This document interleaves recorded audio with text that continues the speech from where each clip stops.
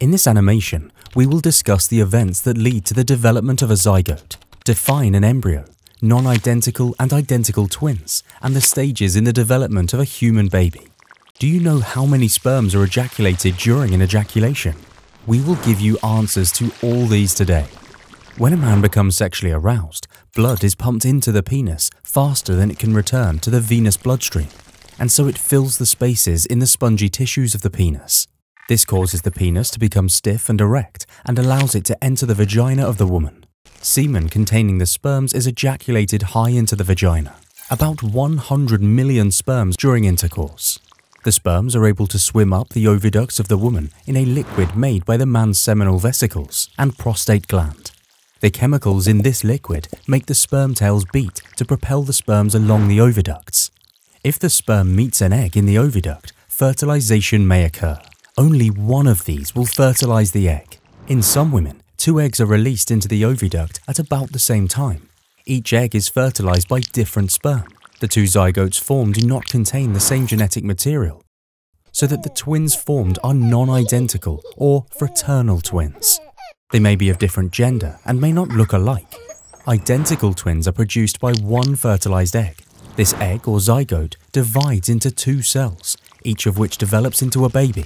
Since the two babies are derived from one fertilized egg, they have the same genes and are identical.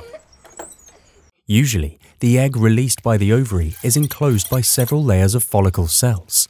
To pierce the egg, the sperm releases an enzyme from the acrosome to break down one of the inner layers of the egg cell. Only one sperm enters the egg. The haploid sperm nucleus fuses with the haploid egg nucleus, and a diploid zygote is achieved.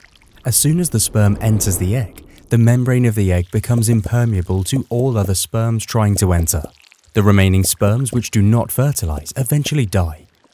Development of the embryo. The fertilized egg passes along the oviduct to the uterus, and as it does, it begins to divide to form a hollow ball of cells called the embryo. It takes about five days for the embryo to reach the uterus. Finally, the embryo becomes embedded in the uterine lining. This is called implantation. To enclose the embryo, embryonic membranes begin to form. An example of such a membrane is amnion, which makes the extremely important amniotic cavity.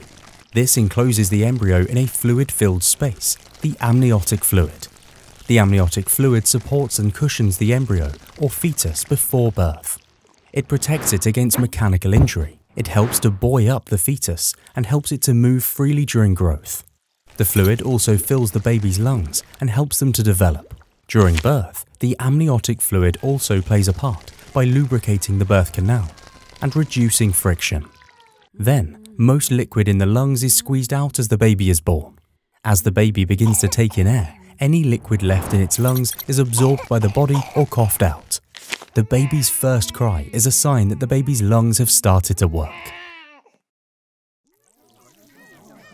Thank you for your continuous support, especially our valued patrons and members who have been encouraging us to keep producing more quality content.